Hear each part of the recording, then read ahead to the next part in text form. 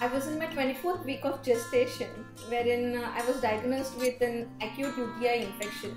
And under the doctor's supervision, I was uh, advised to have an emergency C section, wherein I delivered a 24 weeker baby, uh, a healthy baby,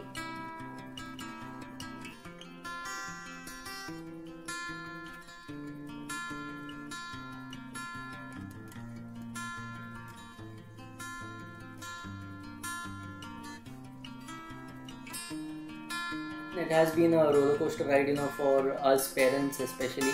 It has been an uphill task, no doubt, for all the doctors a year. Every single day was different. Every single hour was different. You know, checking the baby's vitals and everything. In fact, one of the times when you know the baby had got an infection, uh, the doctors were really dazzled because they were not able to find out what exactly was the cause of the infection. So uh, one thing what we really appreciated and you know it uh, completely baffled us was that the doctors over here what they did is they got the entire de- other departments like you know the microbiology the other teams involved and they did a complete fumigation of you know the entire place so that they could eliminate something that they didn't really know could be the cause of the infection.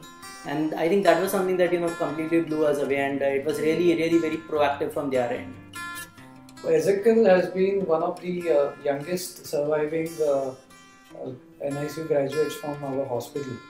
Uh, when he was uh, brought to us, he was a 24-25 weeker, 600 grams, and uh, we were not sure about his survival. It has been a, a wonderful journey for him in this NICU, where he spent almost three months. And right from being uh, 600 grams, where survival itself was not guaranteed, uh, we are very happy to share that he will be going home as a 1.3 kilo child who is perfectly healthy as of now.